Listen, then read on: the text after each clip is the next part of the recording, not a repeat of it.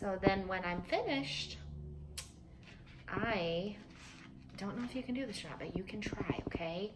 So you curve it like this, curve your paper, and then hold it with one hand and pick it up very slowly, but don't tip it yet. And then you come over here, use two hands, and pour it back in, just like that. You might have to practice that, okay? So now I want you to use two fingers and I want you to trace the w sound, okay? So we're gonna go down and over and up, over and down, and then back up. That's w, w. So, w, w. Remember that, okay? Whale. All right, the next work that I sent home is the bumblebees. So you have your mommy or daddy are gonna have to cut these out for you so that they are all this, the same, so that the card is all the same size, right? Carter, will you turn that down a little bit, please? Let's lay those out. Lay all of them out. Carter, turn it down. Thank you. Hmm, okay. Now first I want you to look at your bees. Are they honeybees or are they bumblebees? They look more like honeybees to me. Okay, so I'm gonna look for the very smallest bee. Hmm. Hmm. Is it this one or is it this one? Which one is smaller? This one. So we want to put that one first. So we'll lay it to our left. And now we need to find the next smallest bee. Hmm. Hmm. I think this is the next bee. So I will put it right beside the very tiniest bee. All right, now which one is the smallest? Hmm, I think this one is next. So I will lay him right by the other bees that I have. Okay, and now I have to find which one is the smallest. Hmm. I have two that kind of look the same. Which one do you think is smaller? Can you point to the small one? This one is smaller, so I will put him next. Now which one is the smallest? Hmm, this one, right? So there he goes. Now which one is small? Hmm, this one is small. So now I have four left. Which one is smaller? This is kind of tricky, isn't it? I think this one is next. Now which one is smaller? This one. I will put him up there. Now I have two left. Which one is smaller? They look so similar, don't they? This is a good work. I think this one is smaller.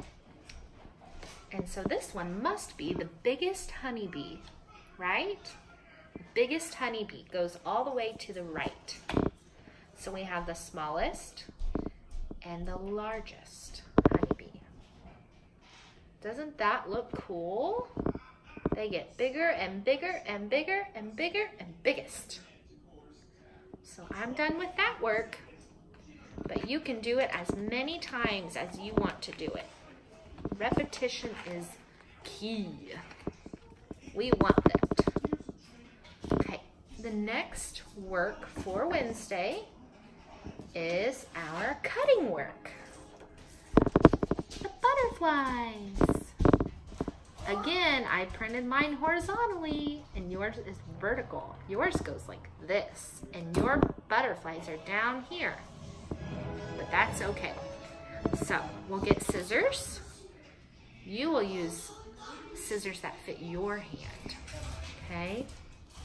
And make sure mom and dad are sitting beside you when you have scissors, okay? We don't want you to get cut.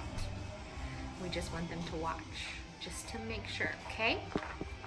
So, to cut this, I'm going to go up a little bit and then over.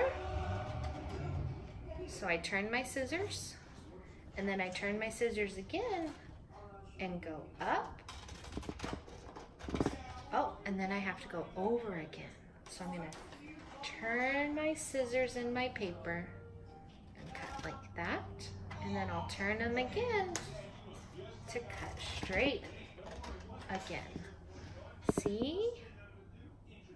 Oh, and the next line is a straight line. Can you cut straight? We can try. So we just go snip, snip, all the way up to the butterfly. Oh, I forgot. Mom and dad are gonna have to cut these before you cut. So they're gonna cut on the dark line.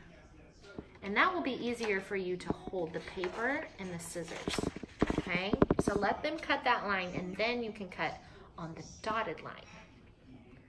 This one is a little bit tricky. It's curvy. So we're gonna move our scissors back and forth all the way down. And it's okay if you don't do it right on the line, okay? We're just practicing, right? We're learning how to use scissors. It helps strengthen our hands so that we can learn how to write and we can hold a pencil and our hands have enough muscles to hold the pencil and not get tired, okay? Keeps us learning how to be steady with our hands. So that's our cutting work. And that's all the work for Wednesday. But you feel free to do any of our previous works that we sent home, or you can work ahead and do some of the work that we sent home this time if you know how to do it, okay? I gave a little bit of direction on each assignment on Google Classroom, so mom and dad can read that and decide if they want to let you do that activity that day, okay? So over the weekend, guess whose birthday it was? Travis. Remember our little friend Travis? Guess how old he is? Travis is two years old now. And in class, we would walk around the sun, remember? And he would hold the earth and we would sing, the earth goes around the sun, the earth goes around the sun. Every year we make a trip, the earth goes around the sun. And then we he would go around two times, right? Because he has been around the sun two times. He's made two trips already. He's getting very big. So I'm gonna sing him happy birthday. And you can sing to him too at home, okay? Happy birthday to you. Happy birthday to you. Happy birthday, dear Travis. Happy birthday to you. Yay! All right. So that's we have for today. And if you have any questions, you can text Miss King or Mrs. Moore and we will answer them, okay? We miss you guys so much keep posting pictures and I hope we can Zoom soon.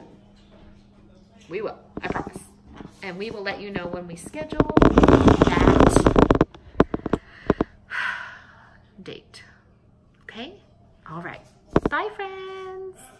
you guys.